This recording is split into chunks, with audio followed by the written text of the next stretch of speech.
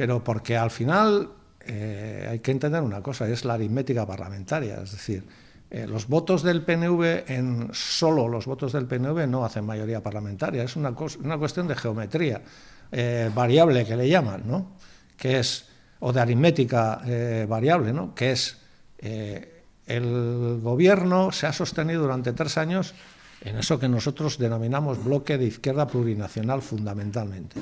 Esquerra, nosotros, eh, Podemos y el PSOE. Y con el concurso del PNV, a veces del BNG. Entonces, es que ha cambiado la situación. O sea, nosotros y nosotras siempre ponemos encima de la mesa esta paradoja. No hay gobierno de progreso en el Estado español si los que nos queremos marchar del Estado español, y además somos de izquierdas, no sostenemos esa oportunidad. Esa es la gran paradoja. Sin vascos independentistas de izquierda y catalanes independentistas de izquierda no hay gobierno PSOE Podemos en el Estado. Y eso es lo que nos eh, ofrece la posibilidad de negociar cosas. ¿Y qué hacemos? Negociarlas a favor de la gente que consideramos más vulnerable.